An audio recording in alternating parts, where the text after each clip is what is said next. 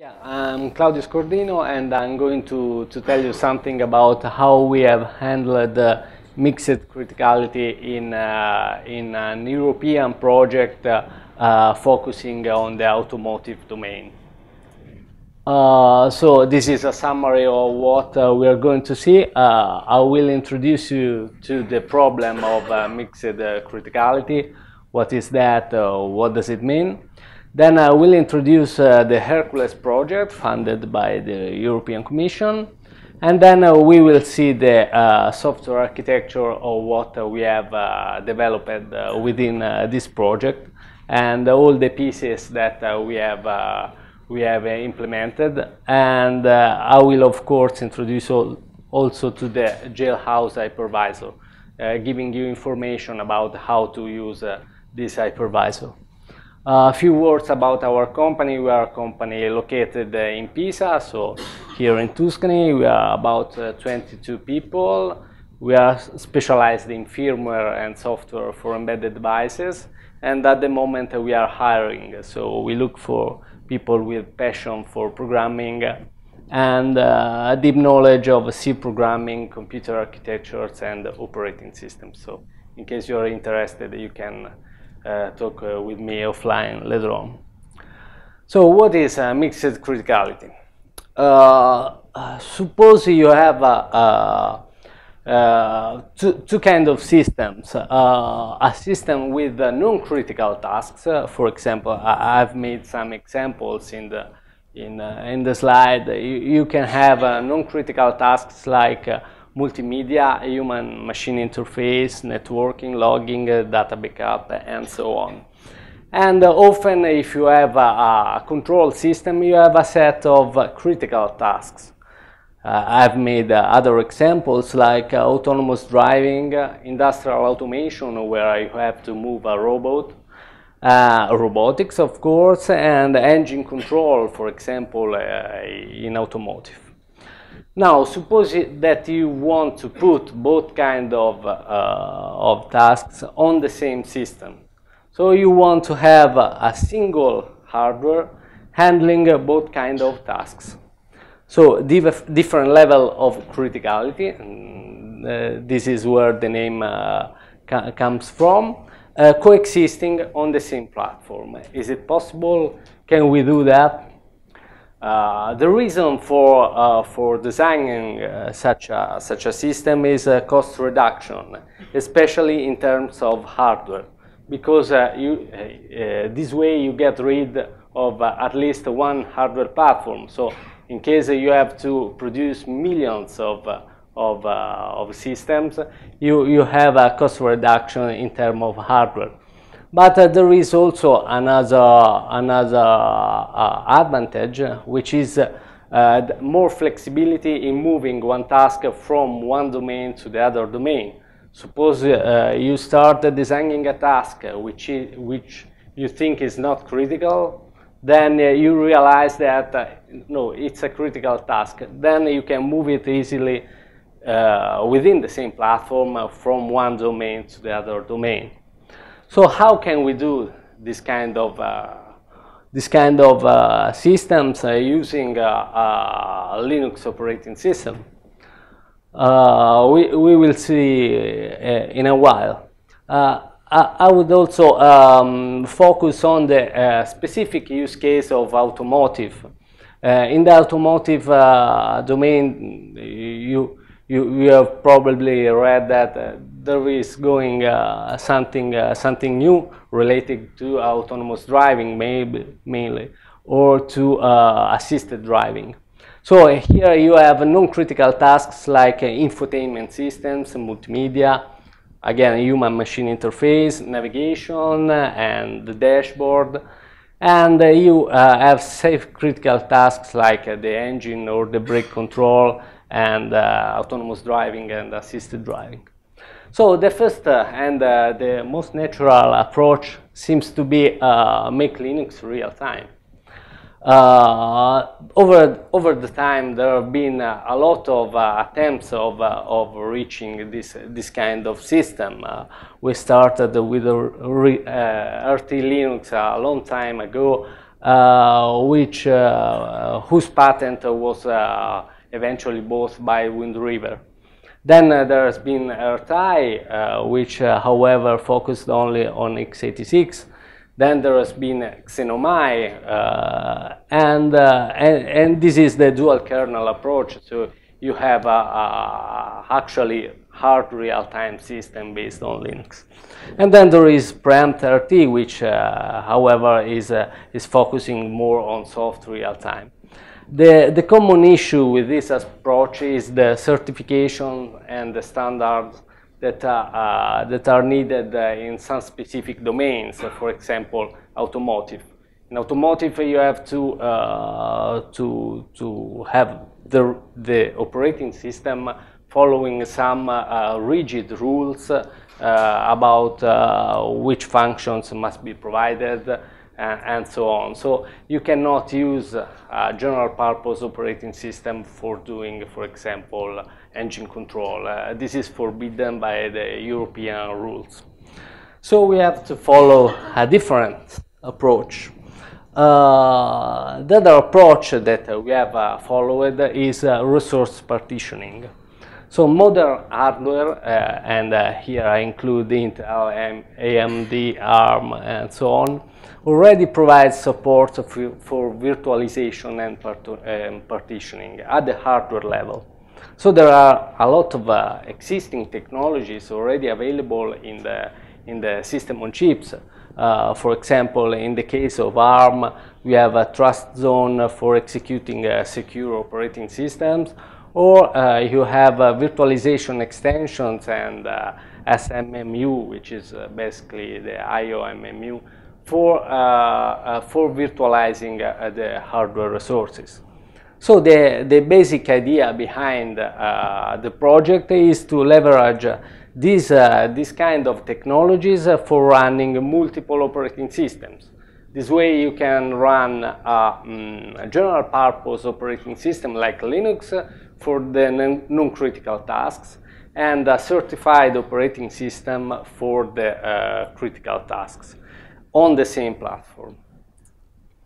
So the project uh, that uh, started uh, almost uh, three years ago, and uh, as, I, as I was mentioning, it's been funded by the European Commission. And here there is the hardware architecture.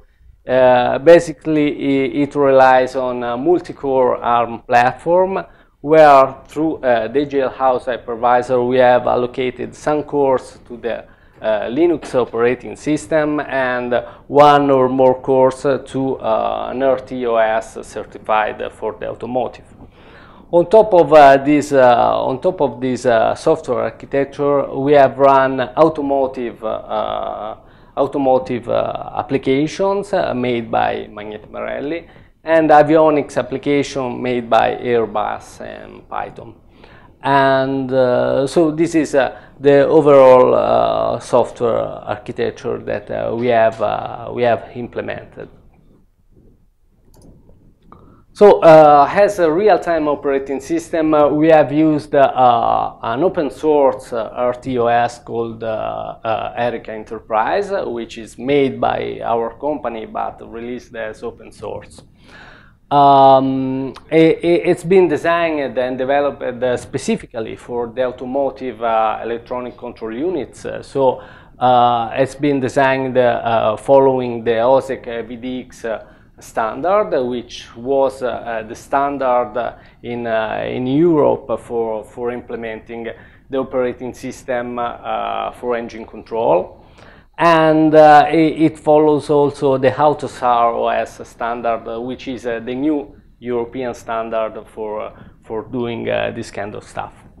And uh, it's been implemented following MISRA C, C, coding, and it's available both as GPL software or under uh, um, with a fee you can get the linking exception in case you don't want to disclose your own uh, your own code. Because uh, differently than Linux this uh, this small operating system is directly linked to the application code So uh, there is a, you need a linking exception if you don't want the GPL to affect your own code.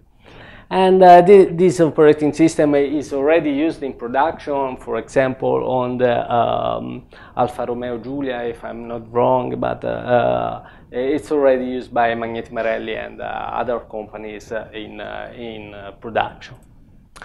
And it supports large set of uh, system on chips and CPUs, uh, mainly uh, the, the, the, most used uh, in, in the automotive, so uh, Cortex-M, Cortex-R from ARM, or Tricore Aurix uh, from, from Infineon.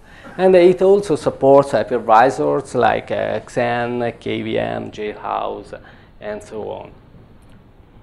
So what is uh, this jailhouse hypervisor on which we have, uh, we have put Linux and uh, our RTOS? Jailhouse is a very lightweight hypervisor. It's a young project uh, sponsored by Siemens, but released as open source software. Uh, the code is hosted on GitHub and uh, it, it's very tiny because the, the, their, their goals is to develop a safety critical hypervisor uh, which can uh, be eventually um, certified. So it's a tool to run real-time or safety-critical tasks. In fact, it, uh, it introduced a, a, a, very low overhead on the system.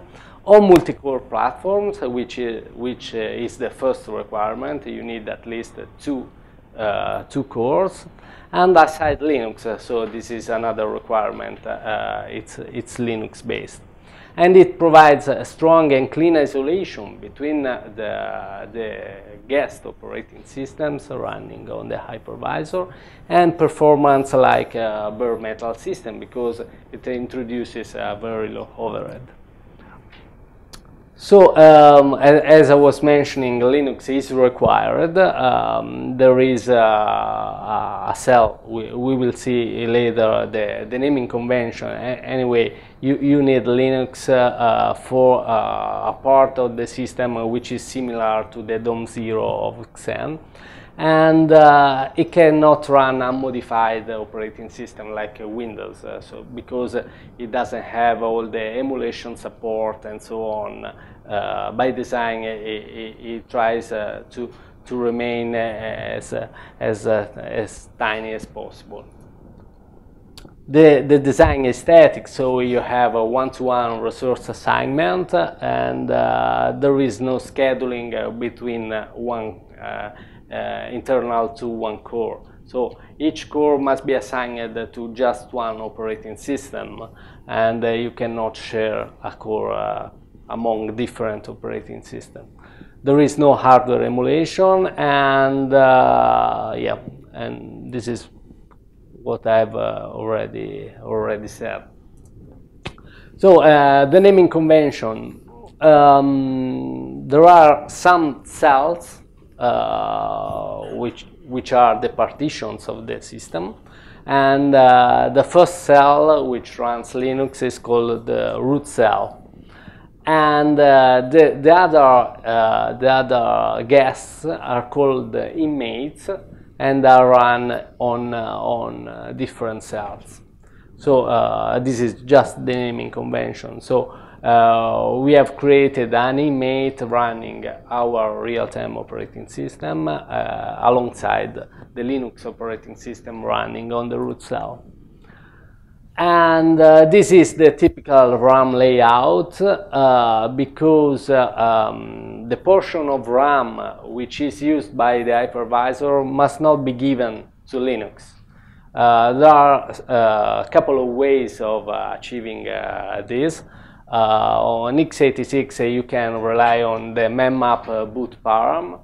On, on ARM this is not possible so you have to specifically write the, the portion of RAM in, into the device tree or otherwise you can shrink the memory seen by Linux by using the mem boot param which is uh, very quickly and uh, so, uh, so you, you, just give uh, less memory to Linux and you put uh, the hypervisor at the bottom of, of the memory.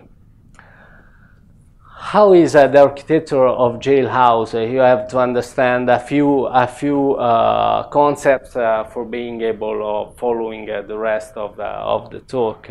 Um, jailhouse has a driver, Linux kernel driver, which is used for um, uh, for loading the firmware of the hypervisor, but also the configuration of the root cell and also of, of the other of the other non-root cells. So through this uh, this uh, driver, which uh, creates the dev jailhouse interface, you can you can uh, and through uh, proper commands you can easily partition the system and run the hypervisor. How is the configuration of of the cells?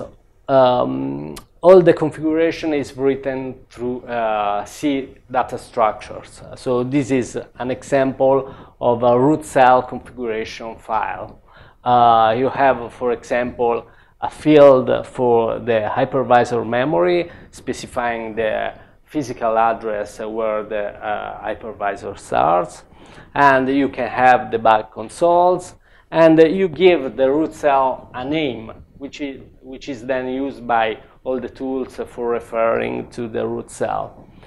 And uh, this is uh, quite a long file because uh, you have to, to mention all the, all the peripherals and so on. On x86, uh, this file can be, uh, can be automatically generated uh, through the jailhouse config create command. Unfortunately, this is not available on ARM, so you have to take the datasheet and write it uh, by yourself and uh, try and try again uh, until you, you get it working. So uh, for the, the, the configuration of the non-root cell is uh, it's easier because uh, usually you, you tend to give less less resources to the non-roots the, the non-root inmate.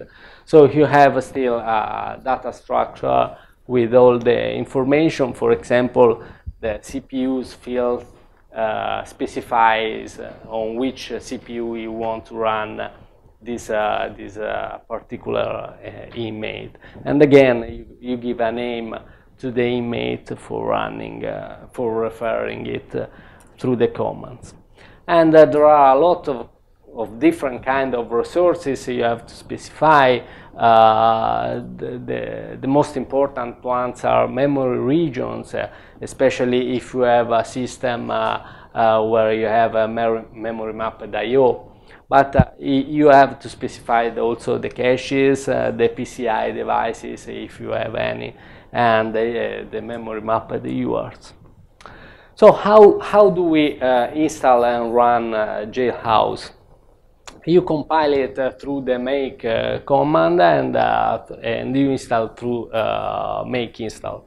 When compiling, it also transforms all the C files of the configuration into uh, binary files called uh, .cell files. So uh, these, these, these C files are compiled into these binaries that are then given to the dev jailhouse entry uh, for for uh, for the for the system. And uh, once you have uh, installed the, the, the hypervisor, uh, you can load the driver through modprobe. And when you load the driver, it creates the dev jailhouse interface uh, for, for issuing commands.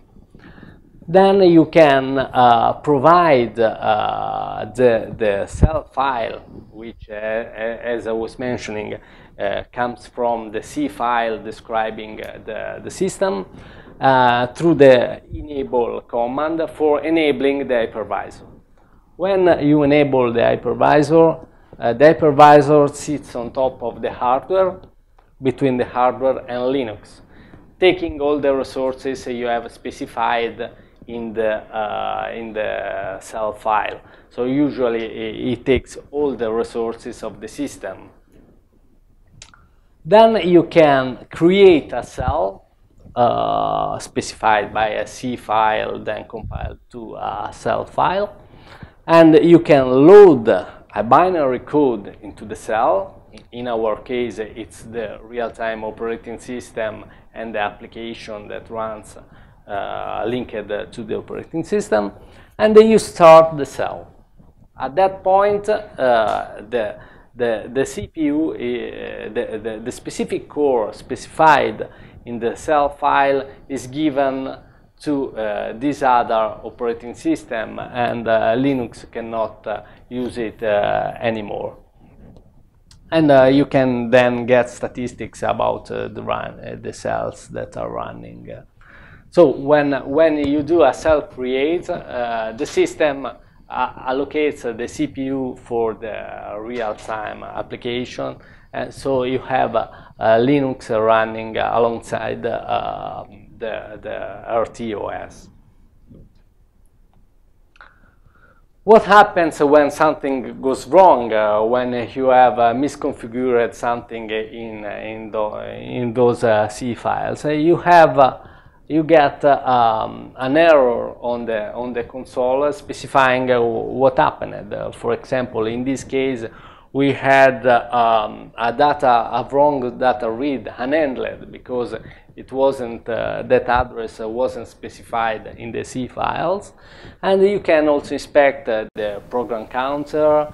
You, you can see uh, which level of the, um, of the um, ARM uh, was the code. EL1 is the, is the 11 is the level uh, designed for, for the operating systems and also which, which CPU uh, created the issue and which was uh, the related name for the inmate. So uh, when, when you start um, porting uh, Jailhouse to, to a platform, you start uh, uh having this kind of errors and uh, then you look to the data sheet and uh, you try to understand what, what was was mapped at at that, at that address. So in, uh, in the specific case of uh, Hercules, uh, we have supported uh, two kind of platforms. Uh, one was uh, the NVIDIA Jetson TX1 or TX2, which has some Cortex-A57s, and in the case of the TX2, also two Denver cores. In the case of Xilinx, instead, we have a Cortex A53 uh, uh, cores.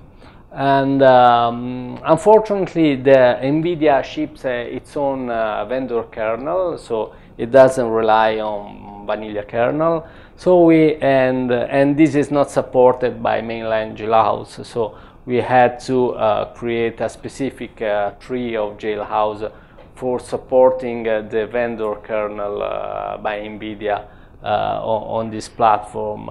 And, and we also worked with jailhouse community for supporting the vanilla kernel in the standard jailhouse. So uh, Jailhouse also provide, uh, provides a, a mechanism for, for inter-guest communication. So suppose you want Linux to, to communicate with uh, your RTOS, um, Jailhouse provides a mechanism uh, which is similar to the ivshmem device model by QEMU. Uh, unfortunately, this is a very basic uh, way of uh, communicating and the setup is not that easy. So what we have done has been to, uh, to build on top of uh, this raw mechanism um, a mechanism that has an API similar to the AutoSAR COM API. So you can send and receive signals which uh, which is uh, the, the name of a message in the AutoSAR standard. So we have uh, created this, this API, this library providing blocking and non-blocking calls and dynamic size messages and uh, other features and uh, this is going to be released soon again under the GPL license. So uh, to, to, to prove uh, the fact that we have been able of running the two operating system, uh, we have made a small demo uh, and we have put the, the, um, the video on YouTube, and the demo is very trivial. Uh, there are Linux and uh, the ERIKA RTOS. On Linux, we, we get uh, mainly we, we drive a wheel, a DC wheel with a joystick.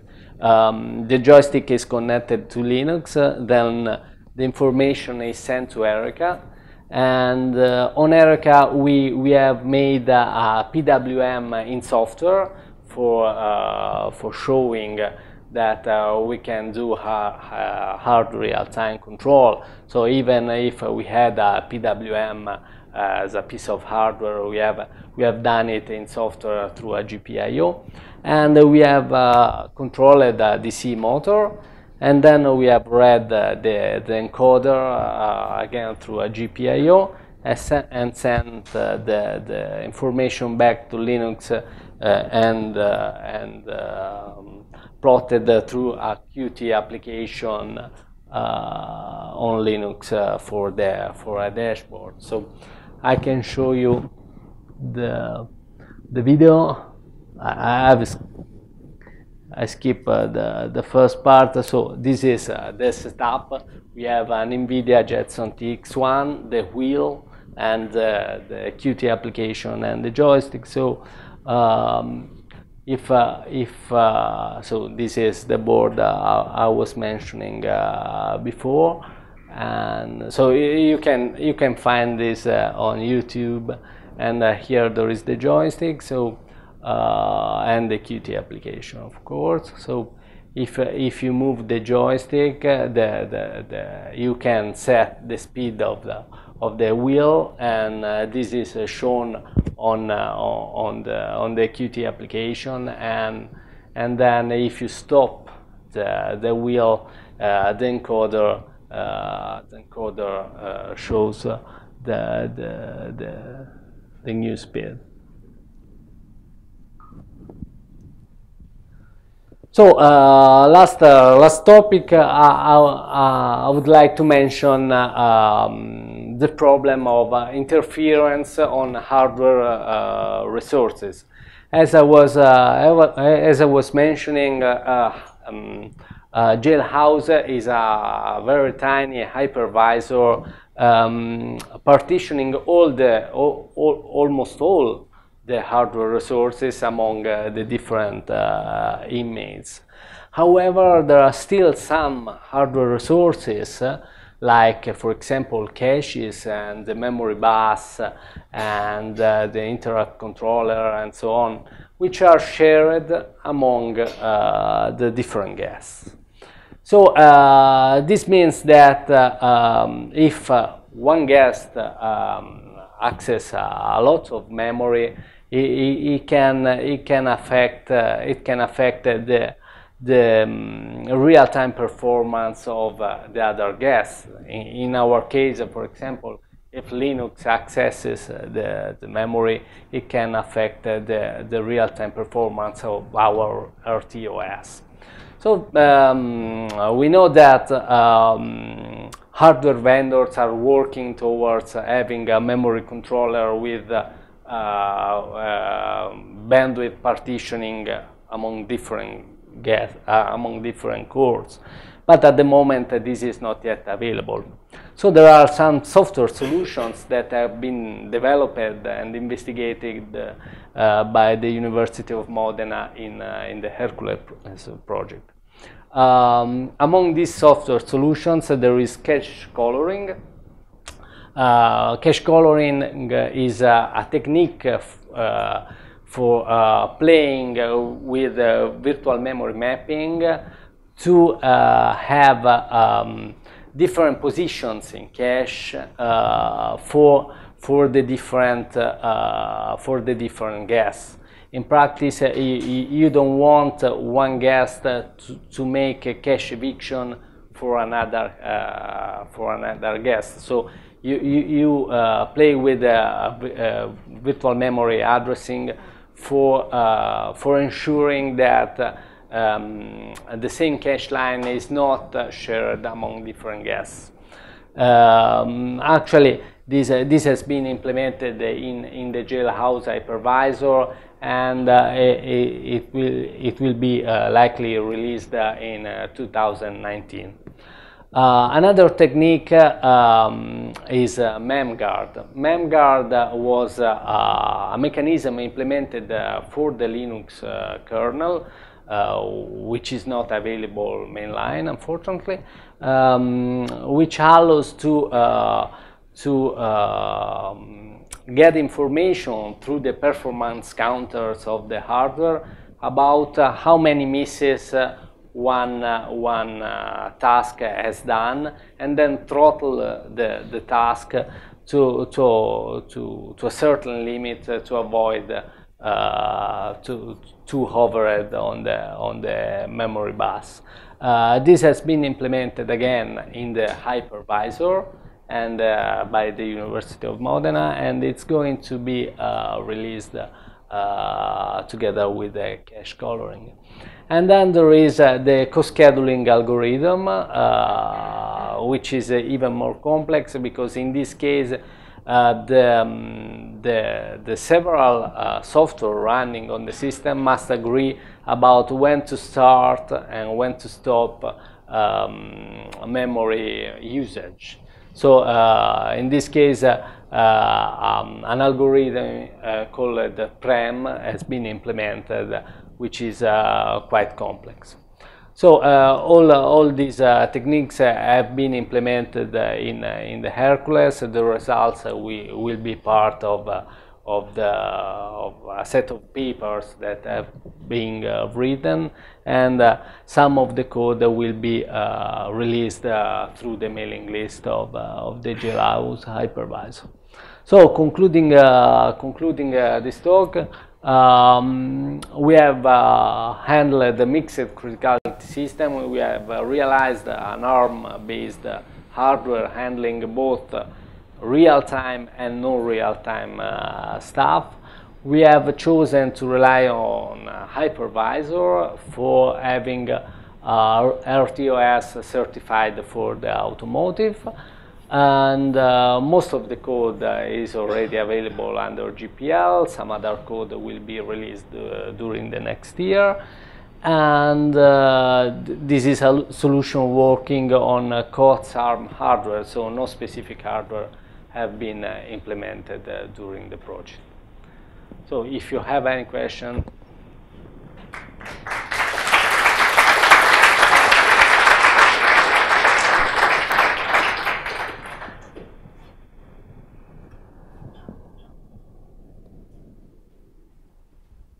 So while it while it's nice that it works on COTS hardware, I seriously doubt that you can actually get a certification for it because you need actually verifiable and certifiable CPUs for yeah. running that in a real world scenario. And that's the main problem because we don't have them. So, and I mean, I know that a couple of uh, semi vendors are trying to do that, but uh, the, the, safety manuals I, I've seen so far are more fairy tale books than anything else. So, so do you have any information when when we will get certifiable hardware? already. You have one. Yeah, yeah, yeah. I forgot it. Well, uh, as far as I know, um, some chip uh, manufacturers, I cannot provide the names, are working on certifying the hardware. However, still, as far as I know, they are not going to certify the Cortex-A platforms, but the Cortex-R and the Cortex-M yeah, so they, they, they are focusing on, on certifying that part, uh, which cannot run Linux. I mean, uh, the, the Cortex-R is definitely uh, designed exactly for that purpose, so it should be easy to, to yeah, yeah. to certify that. Yeah. But the thing is, the interesting, if you look at the, the, the, the design you made, I mean, that's what everybody wants to have.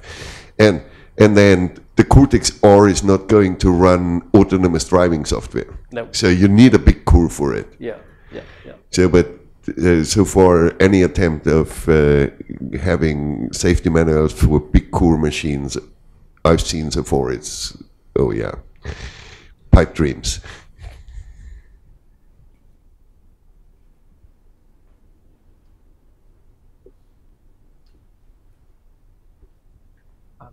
So you, you have been working with Jailhouse for I think at least two years, right? Or even more? Yeah, um, yeah, more or less. More or less two years. years. Yeah, yeah, yeah. So um, what is happening to the project? Is it growing, uh, stable, uh, moving somewhere in terms of certification? So uh, for certification, uh, I didn't see anything happening at the moment. Uh, as far as I know, also talking with uh, people by Siemens, they, they would like to see uh, more involvement uh, from the industry. So uh, Siemens uh, has developed uh, the, the, the hypervisor, which is in, a good shape, I would say, even if uh, you don't have tools for creating the stuff, but um, the, the technology is very valid. And so it's like Siemens is looking if there is really industrial interest for pushing uh, even more effort uh, on this. And uh, um, lately, um, as I was mentioning, uh, Jailhouse cannot run unmodified uh, uh. So you, if you wanted to run Linux on a different uh, non, non-root cell, you had to patch the Linux kernel. Lately, this, this patching found its way to mainline. So uh, so you don't have to manually patch it anymore, but you just uh, through the menu config you, you select the, the, the change. So uh, this means that uh, the, the, the kernel community is interested in Jailhouse, and uh, I would say that uh, it's a very valid. we are happy about our uh, initial choice of the hypervisor, actually.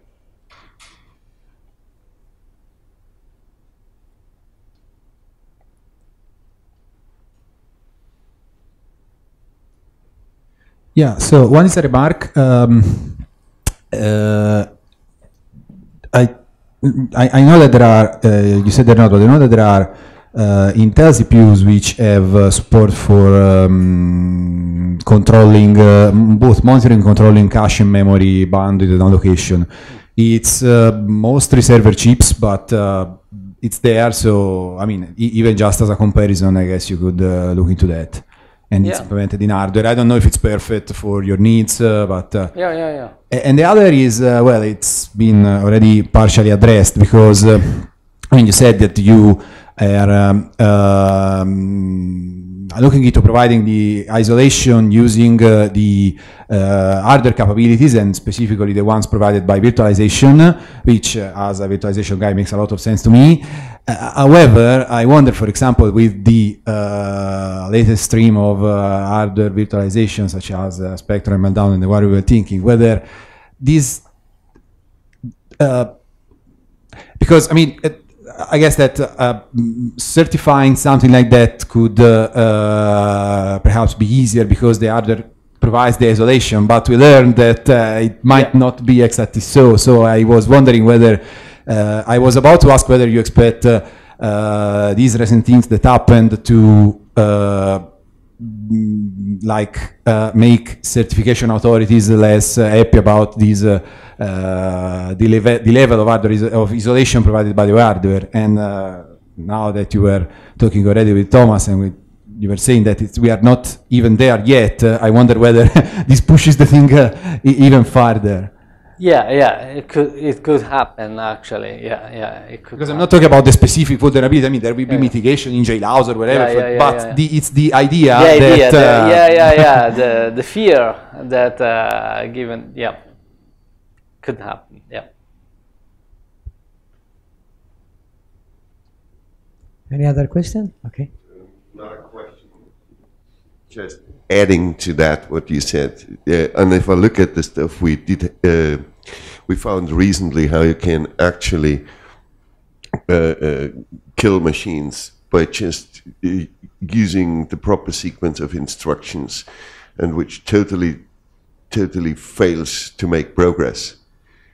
um, yeah, I'm interested in how, and that we, we have examples for that on ARM on, and on x86.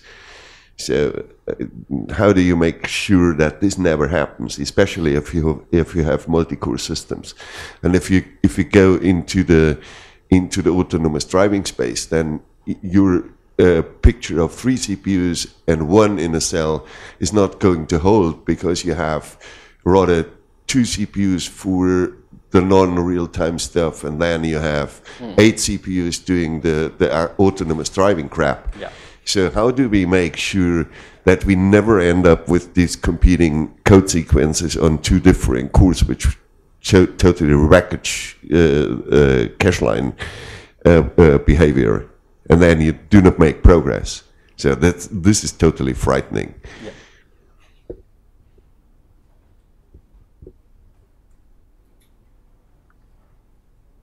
Okay, thank you. Have a good lunch.